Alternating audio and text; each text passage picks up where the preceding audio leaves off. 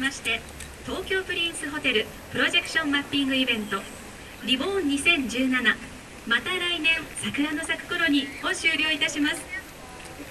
ただいまより係員が皆様の誘導を開始いたします。安全のため係員からお声がかかるまでその場でお待ちくださいますようお願い申し上げます。改めまして2017年4月1日の東京プリンスホテルの再オープン。桜の咲く景色の中で皆様に再びお会いできることを楽しみにしております。そして1年間はザ・プリンスパークタワー東京をどうぞよろしくお願いいたします。本日は誠にありがとうございました。